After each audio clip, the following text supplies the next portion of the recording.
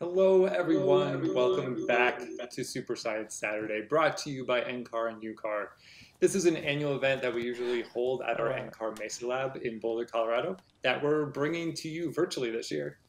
Now, we're getting really close to lunch here in the Colorado Front Range, and I don't know about y'all, but all this talk of science has certainly been working up my appetite. So, we're about to head into the kitchen with Tim and Chef Nancy to make a little snack.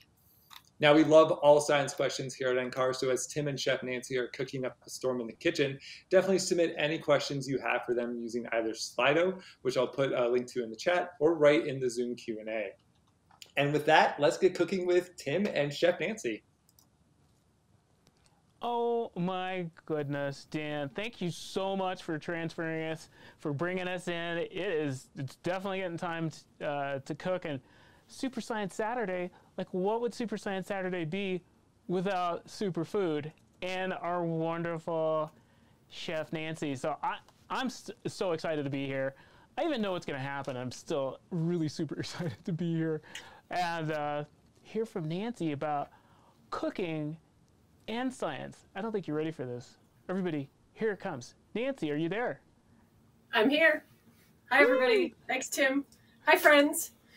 Welcome to Cooking Up a Storm. I am Chef Nancy from the Mesa Lab Home Kitchen here today on this Super Science Saturday, while Tim and all of the other wizards are all at all the different labs around helping to keep things fun.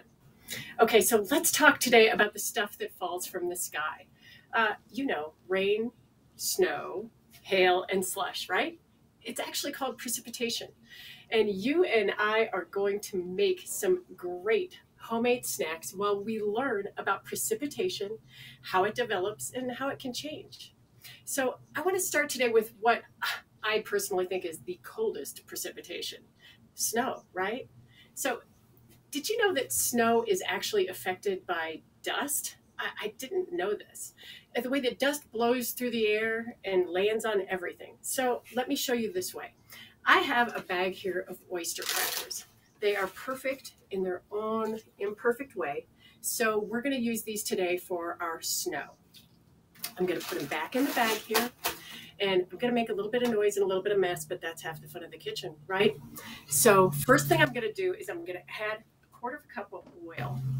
I'm going to close my bag up tight and shake it up. What I'm doing is making my snow wet, you know, wet and crunchy, kind of like the Colorado snow can get out here sometimes. Now, now I'm going to add some dust because who knew that dust affected snow, right? My combination is cumin, coriander, chili powder, garlic, and a little touch of oregano. I'm going to put it back in my bag and I'm going to shake it up and shake it like crazy. Now, I'm not sure if you can tell yet, but look at what's happening to my snowflakes.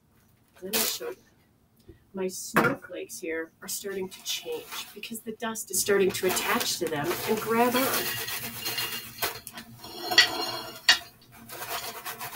Oops, I'm making a lot of noise, aren't I?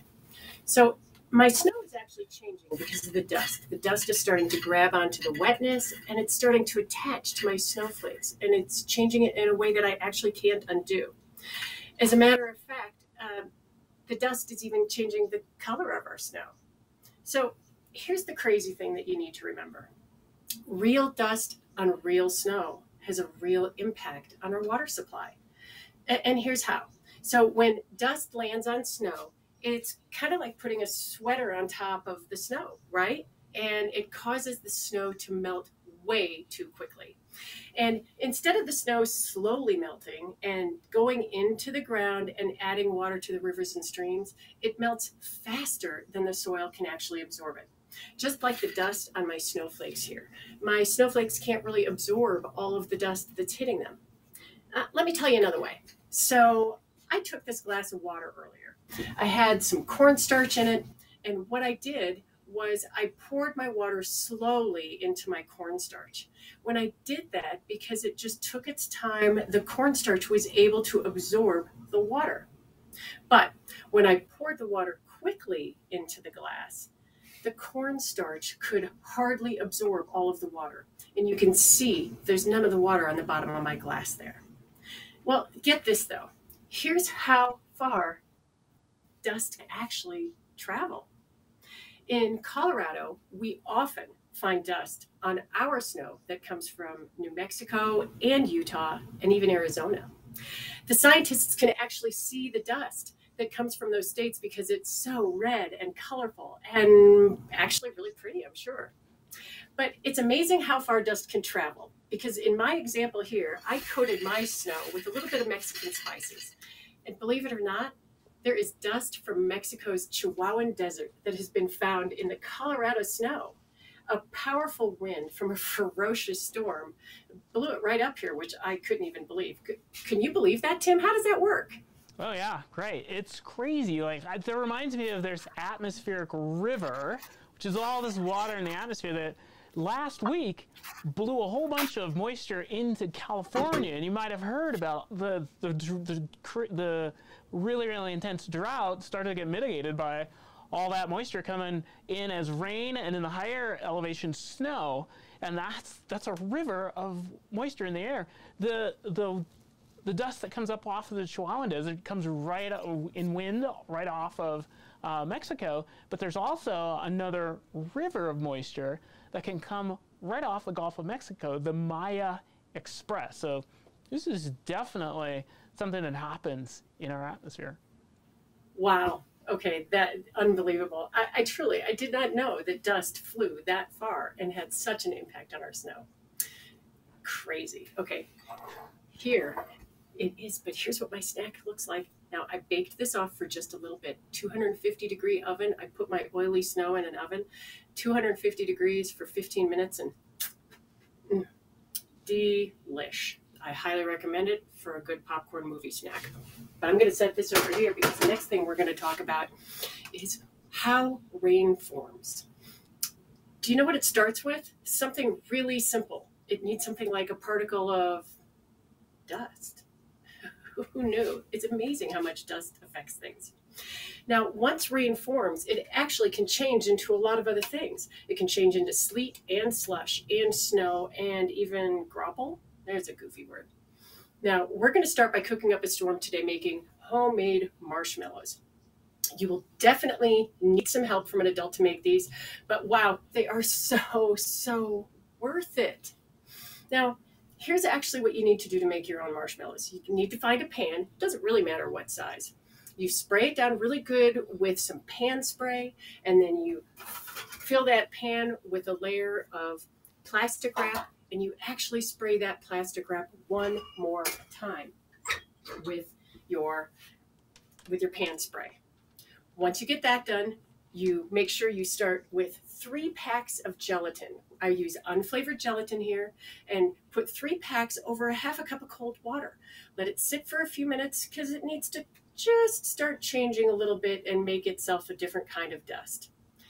But at the same time, you're going to have a pan on the stove that you add some sugar, some white corn syrup, and extra cold water. Make sure you bring it up to temperature over medium heat. You're not going to do it too hot. Doesn't take too terribly long. It'll all melt together. And maybe in about five minutes before you know it, that starts to boil. Once your marshmallow mix starts to boil, that's the point that I add vanilla and salt. You just want to make sure that you add that to give it a little flavor. A marshmallow's got to have a little flavor. Remember, we started with unflavored gelatin, which now is looking kind of squishy. Not exactly what you would expect, maybe.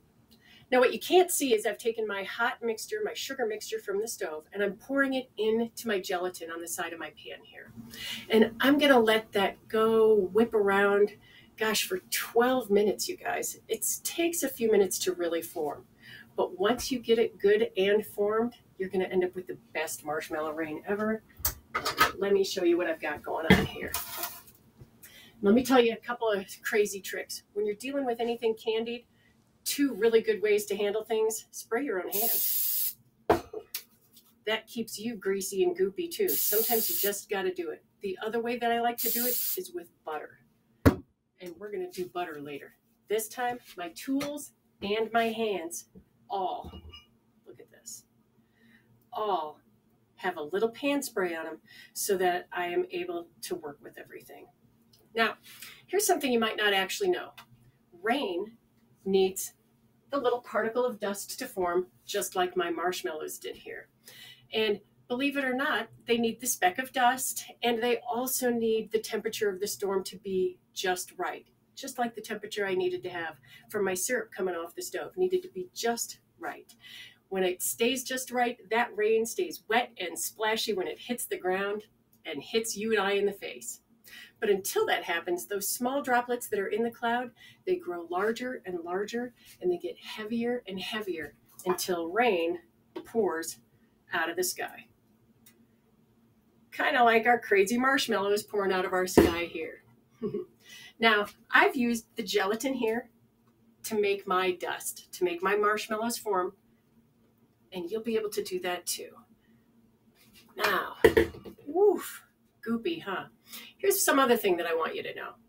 Do you know that real raindrops are not actually teardropped? That's how I like to draw them. Wait, I wait. can't believe that real marshmallows aren't teardrop shaped. Did, just just to be clear, Chef Nancy, did I hear that real raindrops are not teardrop shaped like we see in books all the time? You guys, now you trying to pull my leg. You tell me all the time that real raindrops are not teardrop shaped. And let's see what happens. You know what? They actually. Okay, I don't know if this is like a real raindrop, but that almost looks like a hamburger bun shaped.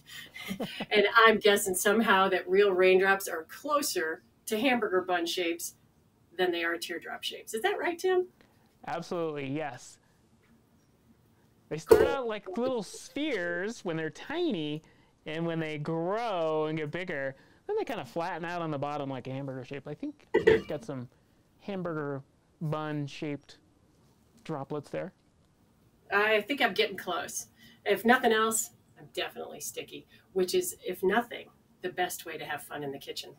So I need to spread out these marshmallows. While I'm doing that, does anybody have any questions? Is there anything that Tim can help us with? Is there anything that you need to know about marshmallow rain? So, What's Chef happening? Nancy, there's there's a question from Nicholas about how hard is this to make? Oh, actually, this is really easy to make, and it's a little messy. And I gotta confess, I'm having way too much fun. I'm not usually this messy, but it's fun. Really easy to make. Probably in total, it'll take you about 20 minutes or less, and maybe five ingredients. You need to have some regular sugar. You need to have some cold water. You need to have some unflavored gelatin. You might need to go to the store to get that. But you heat everything up on the stove top you pour it into the your pan and your mixer or you pour it from your pan into your mixer and then you let it set so once this is done i'm going to let this sit here and we're going to use it this afternoon to make more snacks so that's how easy they are to make and that's how fast they are and let me show you once you get them done here and you have them set i pour them into powdered sugar i cut them into squares definitely definitely definitely not a teardrop shape but look i can also squeeze it into my my hamburger bun shape. Nicholas, these are really easy to make.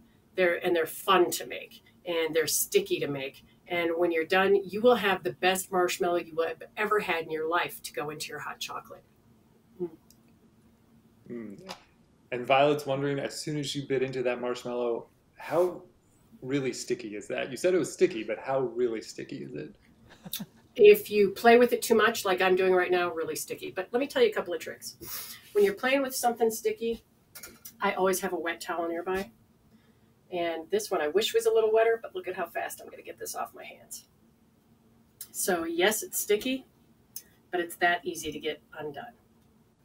And here's my pan. So, in my bowl, you can see I've got kind of a sticky mess here. If you keep it in the pan, no problem. Cleanup is non issue.